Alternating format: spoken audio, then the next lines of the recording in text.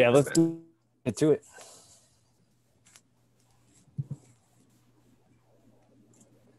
Alrighty, so thanks for coming today. Uh, we are going to be navigating the virtual career fair together, and I wanted us. we wanted to put this together to at least make sure that we're starting off on the right foot. As you can kind of see my virtual background, um, we want to we want to go from some that's very unpolished to, to a place where we feel very confident and prepared um, going into a virtual career fair, speaking with recruiters uh, about internships, full-time, part-time positions. And so uh, my name is Jorge. We're with Caitlin and Zach, and we are career advisors uh, in the career. And like I said, th- this is going to be an opportunity to network with employers. Even if you're not looking for full time positions right now, this is a great time to start practicing speaking with employers just about what types of opportunities are out there, what types of skills that I need to be developing uh, as an undergrad or as a graduate student um, for when I am ready to start applying for full time positions. Okay. Um, so we've heard feedback from students about what it was like last semester doing a virtual fair. And one of them is the fact that now you have individualized attention from recruiters. Um, you are signing up for one on one sessions, for group sessions. Pre pandemic, you were sitting, you were standing in line for 30 plus minutes, even sometimes, uh, to speak with a single recruiter, a single company. And so this streamlines it, streamlines it so much uh, more efficiently that way, you sign up for a time slot, you have their individualized attention for those 10 minutes.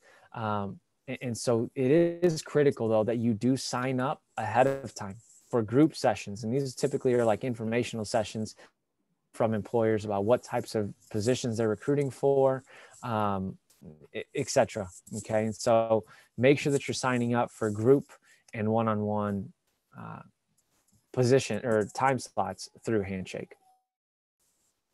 Okay. And just as a reminder, make sure that this is written down and you and you have registered uh, in Handshake. Um, it is February 26 from 11 a.m. to 2 p.m. Now you don't need to be there the whole time. Again, you're picking what work for you. And so this is an almost all majors career fair where even if you're applying, let's say at an engineering firm, that doesn't mean that they're only hiring engineers.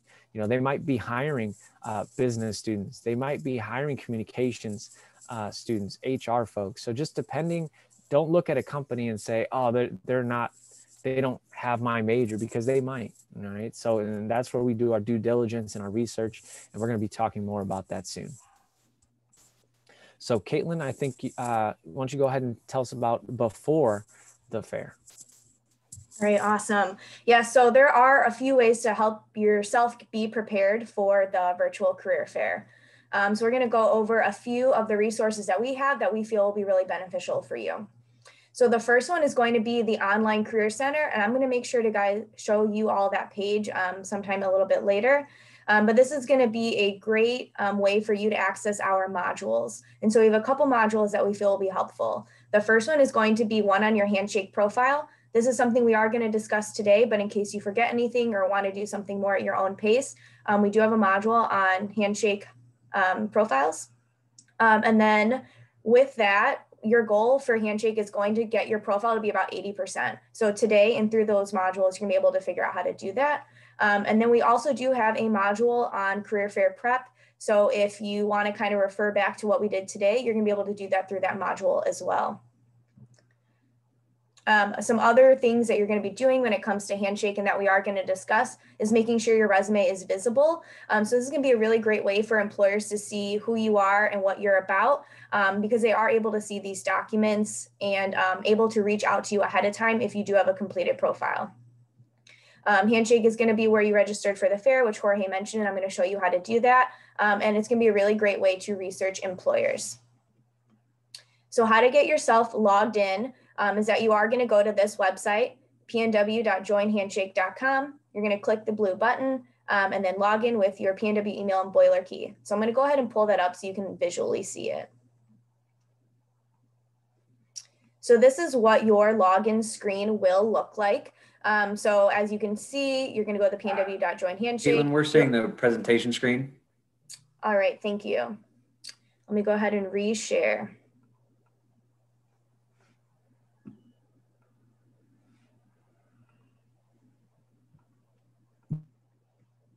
All right, are we seeing the correct screen? Yep, we're good. All right, awesome. So this is going to be your login screen. As I mentioned, you're going to click here. Um, it's going to ask you for your boiler key information, and then it's going to take you to your um, profile page. Is everyone seeing the profile page okay? Just the uh, no. login screen still. All right, so it looks like you have to reshare every time. That is, that's fine. All right, so here is your um, Handshake profile page. Um, okay, so what you're going to do is that with your main screen, let's go ahead and first show you how to get logged in. Um, as you can see here, there's a few different tabs you can go to. You're gonna wanna go ahead and click events.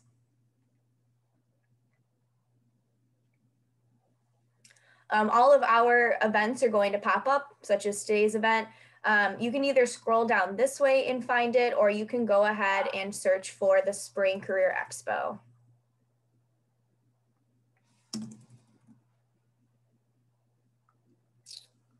All right, here we are. Um, so on this page, you're gonna go ahead and click register.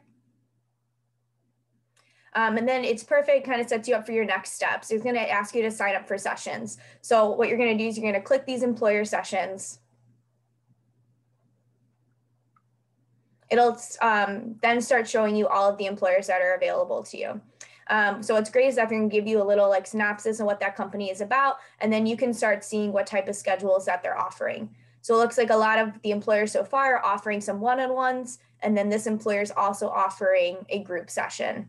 So as Jorge mentioned, group sessions are going to be more like info sessions, more about the company, when one-on-one is going to be that um, individualized recruiter um, time.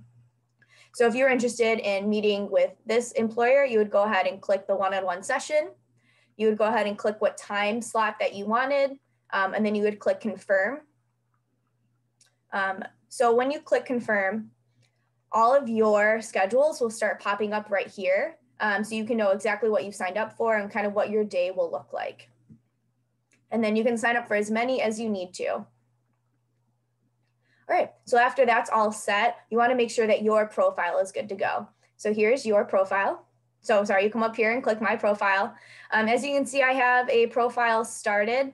Um, and what's great is that Handshake will kind of assist you in this process. So some main things you're gonna wanna do is make sure that this information is correct. Um, so for you as a student, all of your information will be here. So make sure that is the correct major, the correct graduation date, um, and all of that. The next sections you're really gonna wanna focus on is gonna be your work and volunteer experience. And this is going to be very similar to your resume. Um, so if you already feel like you have a pretty solid resume, you can go ahead and put your bullet points in here and start building it this way. Um, some other things you want to do is add your organizations and extracurriculars. Um, courses you feel may be really important for an employer to know, any projects, um, and then skill set. Um, some information you're also going to want to make sure is that your interest is filled out. Um, so this is only visible to employers as it's telling you here, but making sure that yours is turned on that you are searching for an internship or job, what you're interested in, and kind of what you are seeking. Um, and then lastly, I mentioned that you are able to put documents on your profile um, and making sure that's public. So when you scroll down, you're going to see these document section.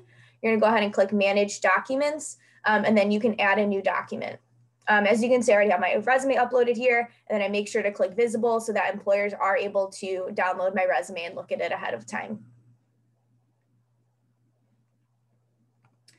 All right, so that's mainly your profile. As I mentioned, we do go over more in-depth handshake profile things um, within our online career center module.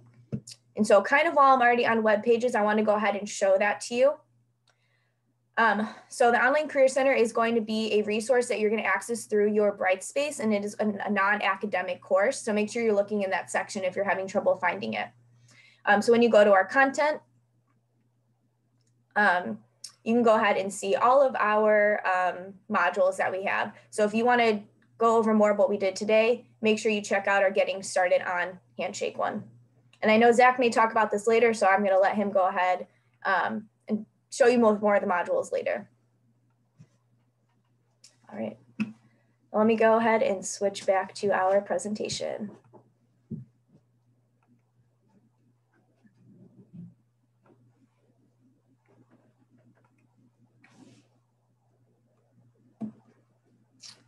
All right, so one thing you are going to want to do is start researching companies. And so within Handshake, um, you can search, you can look at all the employers and then you can um, figure out kind of what they're hiring for, where they're located, what they do, and how you fit into that organization. Um, so I can go ahead and look back at the employer pages, but that's all going to be listed on there. So let me go ahead and switch back.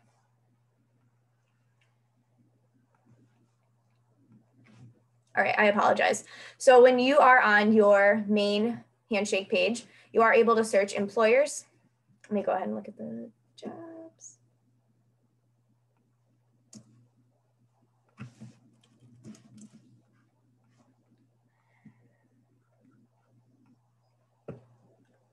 Sorry, now that we're back on this page. So when you are looking at an organization, let's say you're interested in working for Target, um, you can go directly not only to their job fair page, but they also have like a more direct in-depth target page. So as you can see here, Target is really good about adding information to their um, profile. So you can look at all of their reviews, their interviews, um, more of an overview, and then kind of looking through to see if Target is what is for you. Um, so information, as I said, you're going to want to be looking for is what they're hiring for, kind of what they're about, and how you feel like you would fit into that organization. So making sure you're reading these profiles ahead of time um, before the job fair will help you um, feel more confident what you're communicating with them.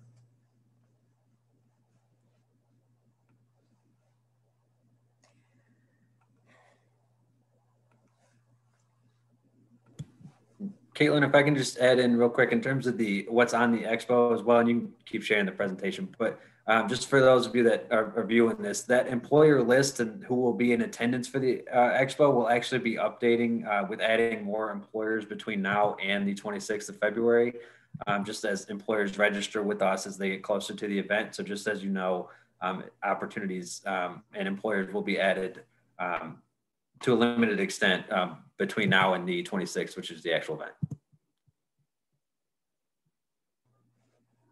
All right, thank you, Zach. That was really helpful, and I'm uh, can't believe I forgot that. Okay, so um, I already kind of went over the Online Career Center um, and kind of what that web page looked like, but some other things we wanted to bring to your attention is that we do have a resume and cover letter module. Um, if you feel like you are really interested in the fair, but you aren't sure kind of how to get that resume started, uh, this is going to be a really good starting place for you. And then if you feel like you have any more questions after these modules, you can go ahead and make an appointment with us, and we'll be more than happy to work with you on your resume or on your Handshake profile so you feel confident walking into that event or virtually logging into that event.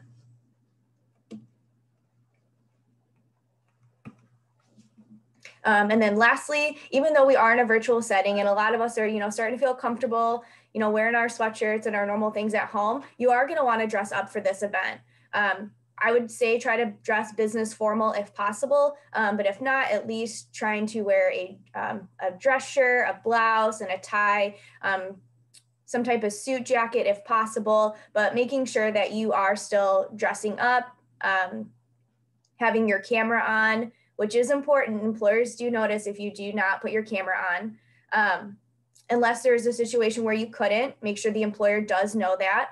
Um, and still just trying to look our best when it comes to addressing employers.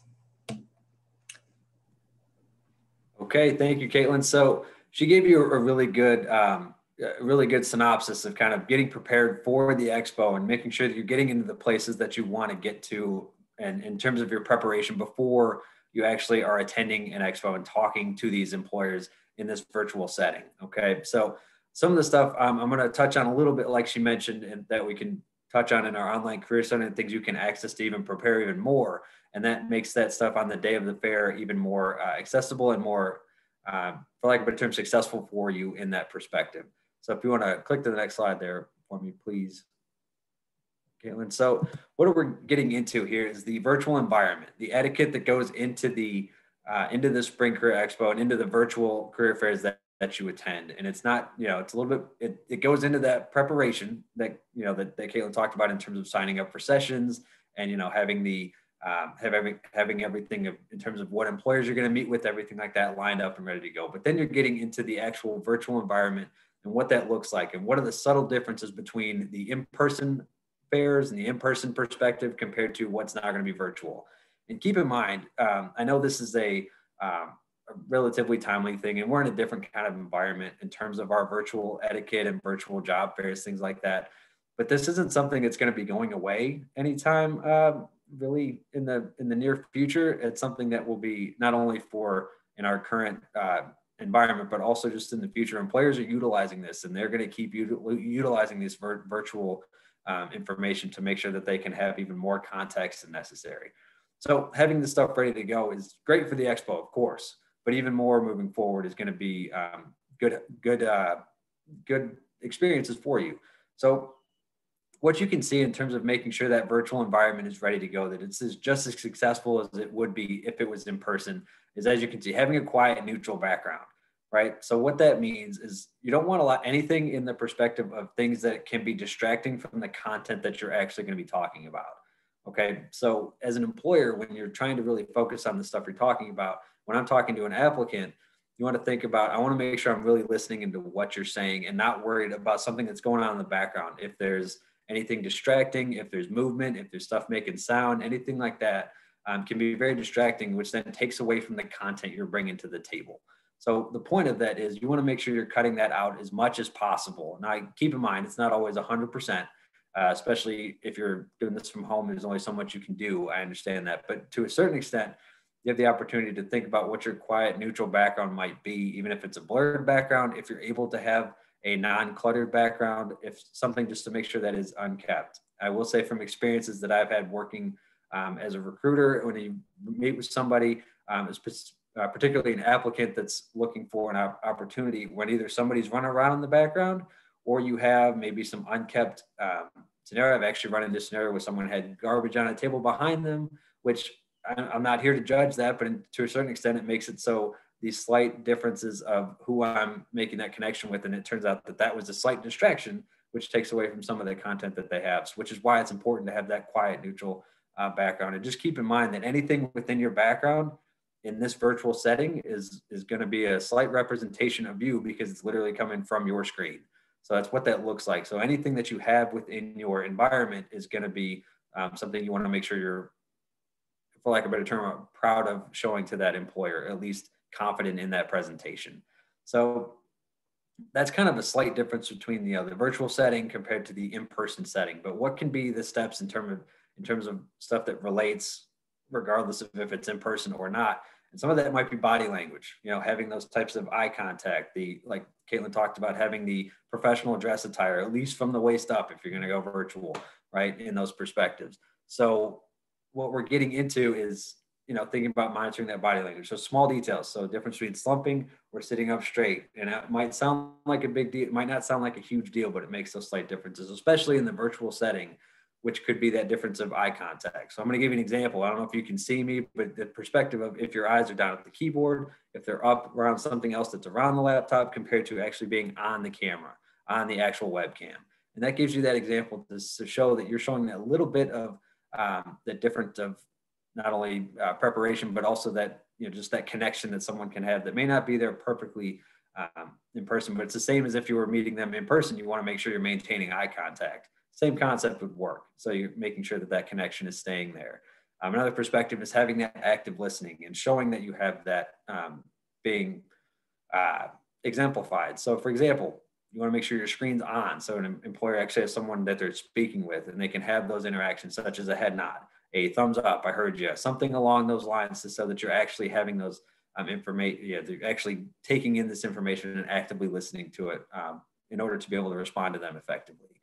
So what it comes down to is removing those distractions. So just like you would, you turn your cell phone off when you go to a job fair, or at least turn your sound off, if nothing else. Same concept. You're trying to re- remove as much distractions as possible. And one other perspective, especially if you get to the group settings, let's say you sign up for a group session, um, when you're not speaking, just as a courteous uh, thing to others, mute your mic, you know, especially if you're in a situation where your background's making some noise. And even if you've told the employer, like, look, I'm in a situation where I have childcare, I can't quite you know, I can't turn can't turn the kids off, right? So in that example, you can at least communicate that you have that scenario that you can't work around, and then you mute the mic when you're not speaking, and that at least gives the uh, impression. And you can at least leave the video and have those active listening things to say, "I'm listening. I hear you." Utilizing the chat, um, and then just listening to others as they go. So if you want to hit the slide for me, please, Caitlin. So as you go forward, here's what we're looking at. Here is what you're going to be looking at. Let's say you've signed up for sessions, you got that individual session or group session, um, and you're in Handshake, you're ready to start. This is what it's going to look like for you. So you'll have you and the employer, in this case, or the group session, will have a list. It'll have a big bunch of blocks for all the group people that are in as well. But you have the option. You'll see the chat, and you'll see that uh, you'll see who you're speaking with. And as you can see, it may not look like a big difference here, but there's a big difference between when you're speaking to somebody that's actually in front of you and, and in that virtual setting compared to when you're looking at a black screen. And for the employer perspective, and we've gotten this feedback a lot, is the more interactions you can have, the better it's going to be. So when you're into this, just like Caitlin mentioned, you want to make sure your video's on and you're being uh, active within that communication. So having that video off makes it look like you're not quite invested in it. Even if you're listening on the other end, the employer won't know that. And in that sense, you want to make sure that your video's on and you're being uh, responsive to what they're saying. Even if your mic is muted, so you're not making sound, you can still have that communication, which I know some classes you might be in that don't require that video. Keep in mind, this isn't a class, a little bit different. You want to make sure you're having that communication. You're actually trying to make that connection as much as possible. Right. So as you can see, all sessions will have the option for handshake, video, audio, and text-based chat. So there's uh, so there's no customization for types. So there are customizations. It's up to the employer and the student joining the session how they want to con- how they want to connect. So it could be through chat, could be through unmuting themselves. It depends on the specific employer you're talking to at that time. Um, so as long as you're signed up for a session successfully, you'll be able to join up to five minutes prior to the session start and throughout the duration of the session. So that does give you a good insight into getting in there. However, that being said, I would encourage you guys to show up five minutes before the session or at least at the time of the presentation um, in order to be successful. You don't want to jump jump in late and then make the recruiter necessarily repeat things as necessary. But that's kind of gives you the visual of what you'll be getting into in that perspective. So the next step on that, if you could move it over, thank you, Caitlin, appreciate that. So the next step that you're getting into is the actual execution. So you have everything in terms of the setup, you have the technology going, you got the prepar- preparation going. Now you're getting into the elevator pitch and not just the elevator pitch, but the actual execution of that interview in those in those job fair skills, which some of that comes along with an elevator pitch. And the reason this is brought up is you go into a lot of scenarios, especially in the job fair setting, to say, "Tell me about yourself." You know, tell me about why you're interested or why you're speaking with us today. Something along those lines that you will do in an in-person or a virtual setting all the time. And it most of the time, even if you're in a one-on-one session, it might be that first question you get. And it may not be directly called an elevator pitch for you, but that's what they're looking for. Essentially, what it is is a 30 second commercial that tells the employer specifically a little bit about who you are in roughly 30 seconds to a minute. the reason it's called an elevator pitch, for those of you that don't know, is if you're getting into a scenario, and let's say you walk in an elevator with your the CEO of your favorite company walks in with you, you now had that elevator ride to tell them why they should be hiring you over somebody else, right? So in that example, what goes into that elevator pitch and being prepped in how to communicate in these uh, short bursts and these short scenarios like this. So you can see the breakdown in front of you in terms of the elevator pitch and what goes into that and who are you professionally? So your current status. So I'm a current student, current PNW student, uh, majoring in, making this up, engineering, looking for this opportunity, right? So it's an overarching statement uh, of the professional that you are, right? So it sounds really quick and then it's just a matter of once you get these things put together, making them flow together smoothly. So that next point, you have the I'm a current PNW student, recent graduate, soon to be a graduate of PNW, and what's your highlight reel? That next point in, in terms of two to four couple of highlights that you want to say I have really skilled in this. Here's some projects I've done. Here's some experiences that I have that I bring to the table. Right. So some of those recent accomplishments you may have. So I'm a recent PNW graduate who's got uh, multitude of experience with engineering internships and fill in the blank, whatever it would be for you. And then you get into the perspective of why you're here. Why are you talking to this individual? Why should they why should they care about the stuff that you're bringing to the table? And a lot of that comes into one to two sentences about specifically the company you're talking about and about the role you're interested in. So one of the things that go along with this and a little bit in that preparation of how you research employers, what they're looking for, the job descriptions you're looking for, you want to communicate why you're interested, besides the fact that they're hiring and that they're paying and that you want a job. Yes, that might be the gist of why you're interested in this stuff, but the perspective of the employer is why do you stand out? And it's something about the, it could be a mission statement, it could be the product they do, it could be um, the, the product they sell, it could be the reviews they have on Glassdoor, whatever that is for you that you find and you saw that employer and said, I really want to reach out to you, even if it's like a location and they fit the work that I want to do. Awesome. At least get that gives the specific into why you're interested and why you're talking to this employer. Um, and it is something where you would have to, you can give yourself a good frame for here's what I want to say every time. But then when you talk to each different employer, you're looking at what do I want to specify for this employer and this individual as I talk to them. Right. So you go into a little, little bit of that research, and that's something I would encourage you to do. And you can do this um, through the online career center as a tool. Obviously, we can help you with that in the career center to kind of draft what that would look like and then get comfortable with that. But within the online career center, you have access to see we have some videos in there for you that can walk you through how to build it and really give you some templates to say, here's a guide for what you would say. And then it's just a matter of practicing to the point when you're in this job fair, you know what you want to say and you're ready to execute it as needed. And one perspective that isn't actually on here that's actually a good transition into our next slide here is the great questions you want to ask. So one way to wrap up that elevator pitch is going into what are the things that I want to move forward into? And no, you're good, Caitlin. I, I appreciate that. Next slide's good. Um, so the next one you go into is the, it's always a good transition between the elevator pitches. Have some questions ready. Keep that conversation going to think about, instead of ending it on just a statement of who you are, that's great. Now, what's something you'd like to know? How can we move the conversation forward? And some of this stuff will come across within this within these experiences in the job fair um, and in these communications that you have. Again, whether it's virtual or in person, these things are still um, going to be critical for you. And one of the things to think about with these great questions to ask, you can see the list of strong and weak questions, and there's you can come up with a bunch of different strong questions that work and a bunch of different weak ones. Here's the point that you want to think about is some of the research that you're doing on these employers should help you come up with some questions. So really what you want to think about is the questions um, that you develop should be insightful, show that you've done some research on it, and show the passion and interest behind the company, the position, something about it, right? So your question shouldn't be, what do you guys do?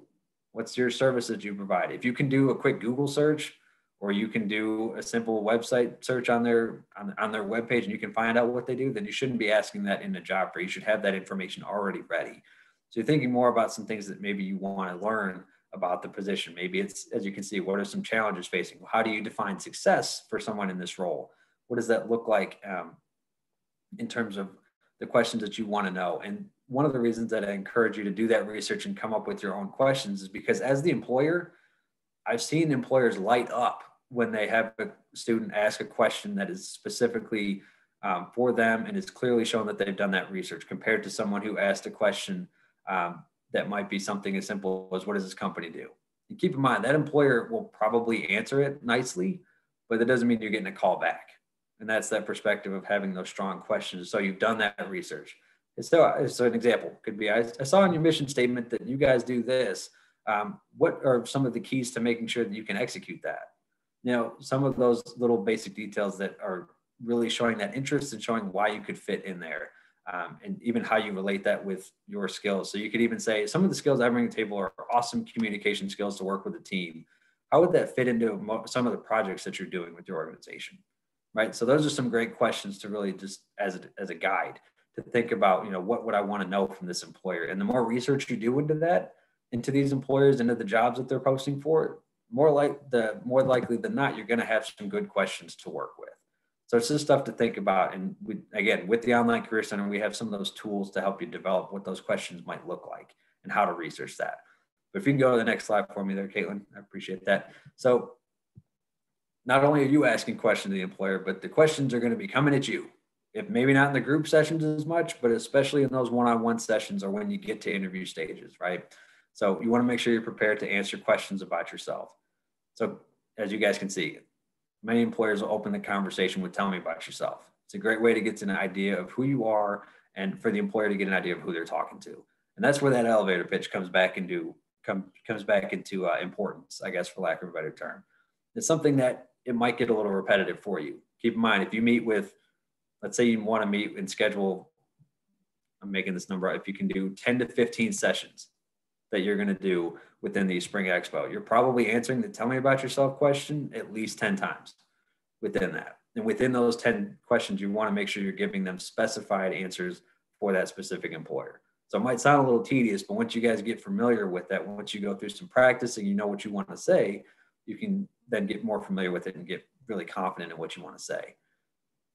So it's a good point to start it out with. And then it's the point of, uh, you know, being proactive, you know, um, and that comes back to that research on the employer, making sure that you can fill in answers that they want to see. So when they ask you a question about what drew you to our organization today, it should be more than, I just saw you were hiring, which again, that might be the gist of why you're originally reached out. But for the purposes of this employer, you want to communicate to them that, hey, I'm really intrigued and I really want to know more about the projects you're doing. I'd love to be a part of them in some way, shape, or form. That's a good opportunity to see and that proactive research to show that you have questions ready to go. Uh, and then part of that goes into being prepared to talk about your current situation. How do you fit into what they're looking for? Right. So why are you interested in this employer in this position? So the specifics there but also getting back into the knowing your own skills. So, case in point, if you were to go into a situation where you're talking to an employer and they ask you, What are some skills you think you'd like to bring to this organization? Something that I'd like you to think about is look at your own resume when you feel comfortable with it and then point out something on there. If I were to point at something as an employer and say, Tell me about this specific point, how would that point help me to the position that I want to go into? So, even if it's a quote unquote unrelated job, if you can find a way to say, well, in this retail job, we really worked on working as a team and communicated to make sure we met with customers. So in this position, I really could see myself working as on a big project with a group of people because I know how to communicate with people. I know how to get that job done. And then you can combine that with your education of the expertise that you need for that.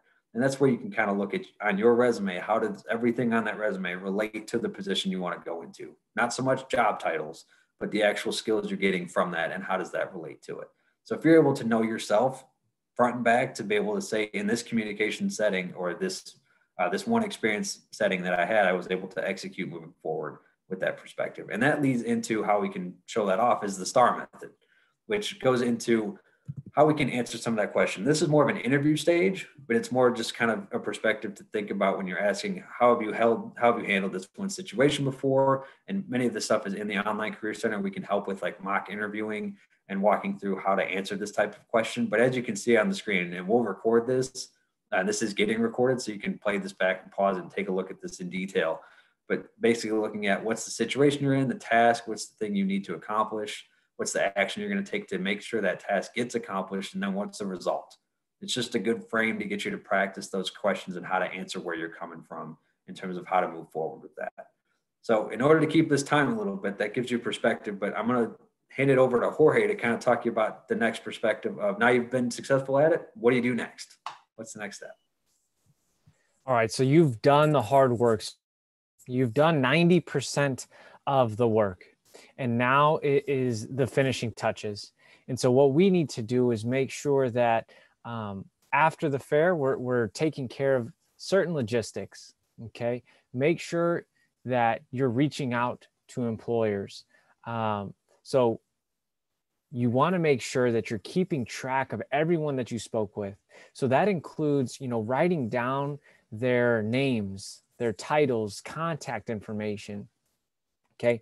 And when you're taking these uh, notes, uh, make sure that you're referencing something within that conversation. So, for example, um, I've been in an interview before where the interviewer asked me uh, about a certain topic and it reminded me of a podcast that we had spoken about. And I asked them, Have you heard of this podcast?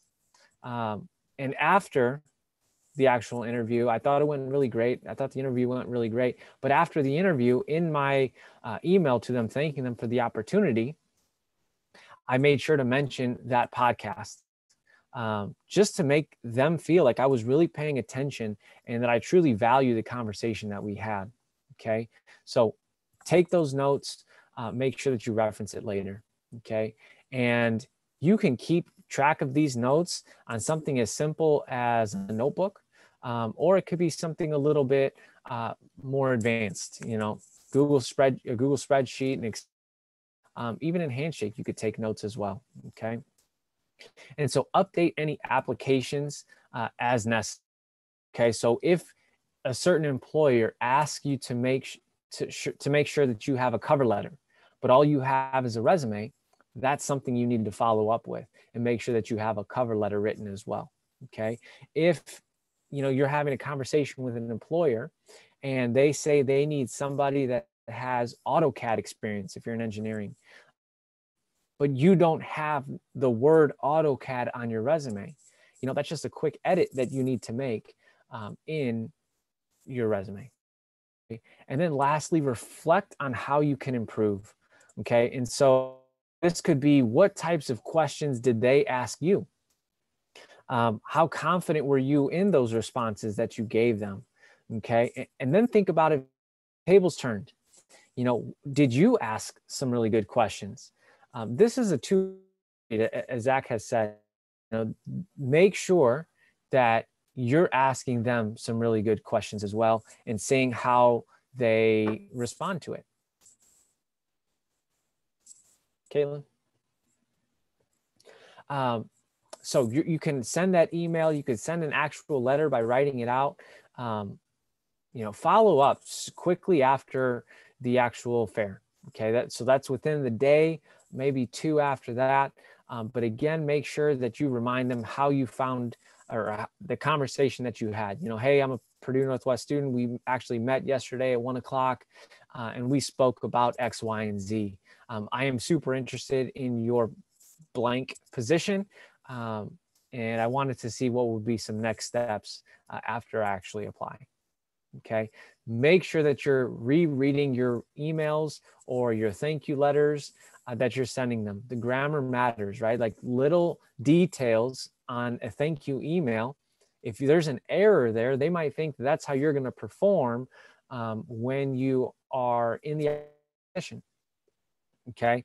And then lastly, if you said you were going to apply for a position and you were really interested, do it. Okay. Make sure you're reading through those job descriptions and make sure your application materials also represent who you are, who you want the employer to know you as. Okay. And so make sure we're doing this in an ethical way, following through on, what you say you are going to do. Okay. So if you said you were going to apply, make sure you do so. If after the fact, you know, you've gone through the interviewing process and you've been offered uh, the position and you've accepted, we should never renege on a job.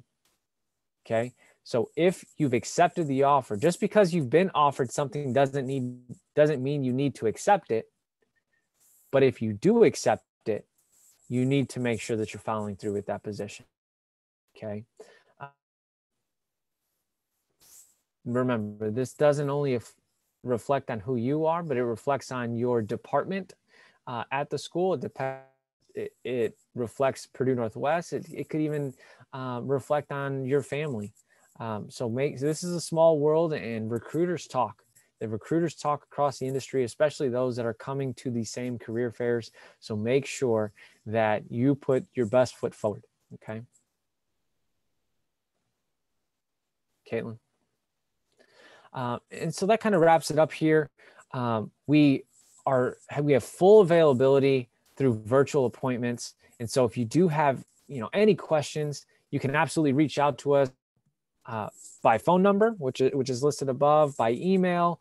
Um, we have appointments literally from from eight, even not probably more like nine o'clock uh, till four thirty. Okay, from Monday through Friday just make sure you schedule something with us. If it's something as simple as you know it could be 15 minutes it could be an hour we could be multiple sessions. If you need more help we are absolutely willing and able uh, to help out. Remember the online career center is there for any modules that you might be interested in whether it's starting point of you know i'm still trying to figure out my major my interests to here's I, I know what i want now let me write a resume or let me prepare really prepare for this career fair uh, are there any questions out there? And if there are, you know, feel free to put them in the chat.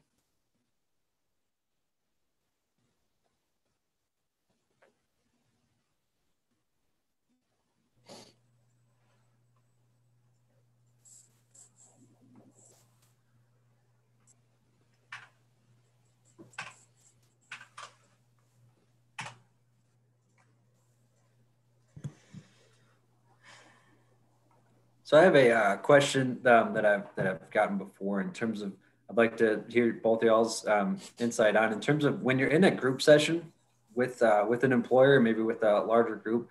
Um, what would be your recommendations on uh, maybe how to either potentially stand out or at least make sure that you're uh, being heard within that group session, so they're being so you're someone that uh, is remembered when you come back. I'll go ahead and start with this one. So when I'm thinking about group, I don't want to call it like a group interview, but being in a group setting, I think the best way to stand out is to try to be really authentic and try to think of the most clever question. Um, so for me, like I have a couple of questions that I will typically ask in all my interviews, and employers have told me that they are different types of questions they've never heard. And so I think relating yourself to um, a certain question or how Jorge mentioned podcasts, something interesting um, about yourself and making sure the employer knows that. Or doing something funny. Like in my interview, I accidentally spilled tea on my now supervisor. And although that was super embarrassing, I'll always be remembered. So just, it's okay to, you know, be fun. Yeah, and some uh, in my experiences with uh, viewing those group uh, types of sessions, a lot of times it's just be the person that actually responds to questions when they ask a question to the group. Actually, be someone that has an answer to that. You know, just making sure you're confident in that uh, representation and asking questions when they say, "Does anyone have any questions?" Throw out a question, even if don't necessarily it may not be a burning question for you, but at least if you have something to say that you communicated with them. Um, and then part of what Jorge mentioned is that follow up message is always really helpful is what I would. Caitlin, what what is maybe a, a question that you ask that that stands out?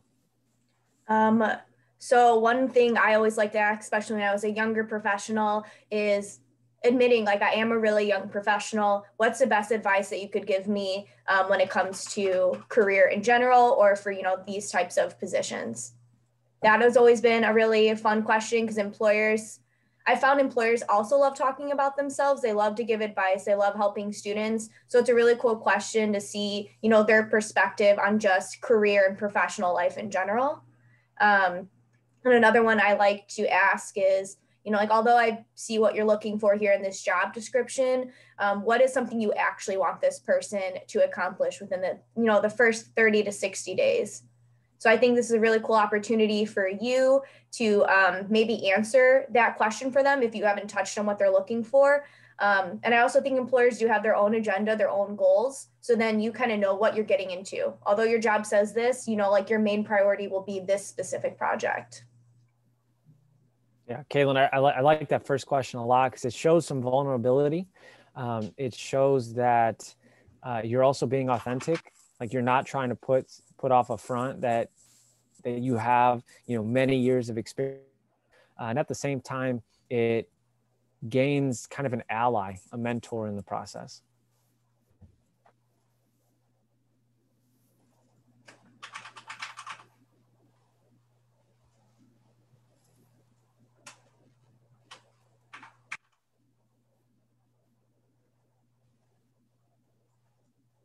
Okay, so we got a question that says, how do I get my resume to the employer? Is that something I need to send to them? Okay, and that's a that's a really great question, especially now being in a virtual setting.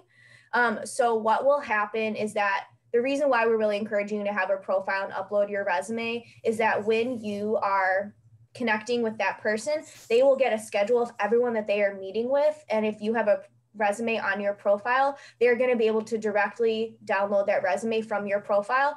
So it should be able to get them get that to them super easily. Let's say that you accidentally forget to upload a resume by the time the fair happens. I would go ahead and make sure you have the contact information of the person that you met with, like Jorge mentioned, and send them a follow up email. Um, as Jorge mentioned too, but make sure that resume is attached. First, let's really try to prioritize putting out a Handshake just to make their job easier and so that they can see it ahead of time and ask you really great questions based on your fantastic resume that you had reviewed. I will say many of that within those um, interactions with them, most interactions that I've been able to view with employers will tell you if they want a resume, how they will accept that. So if they have a job posting, um, which Caitlin already mentioned earlier, but keeping track of you know how if they tell you it's one of the things making sure you're active listening. If they say here's how i want you here's how we accept application materials then that's something they may have already mentioned within their presentation but that could be something that's a relatively simple question um, if if necessary